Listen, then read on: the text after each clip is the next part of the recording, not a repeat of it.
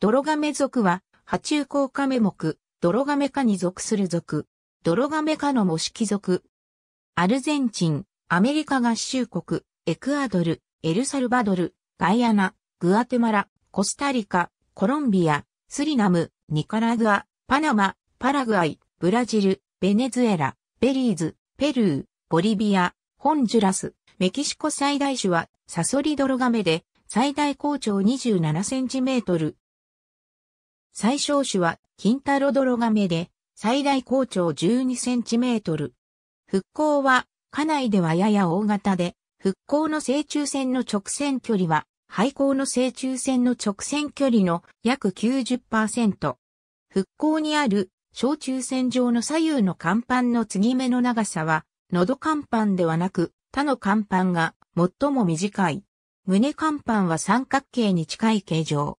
胸甲板と復興板、復興板と股間板のシームに2つの蝶つがいがあり、稼働させることができる。亀目では、本属のみ復興に2つの蝶つがいがある。属名、キナステアナンは、動く、胸の胃で、蝶つがいに由来する。多くの種は復興を折り曲げると廃校との間に隙間がなくなるが、復興が小型な種では、廃校との間に隙間ができる種もいる。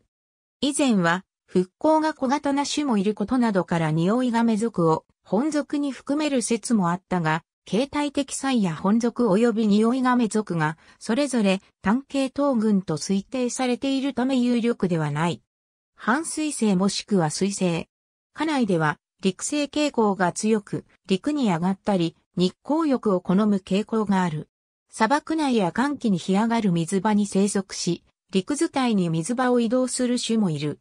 食性は動物食傾向の強い雑食か雑食。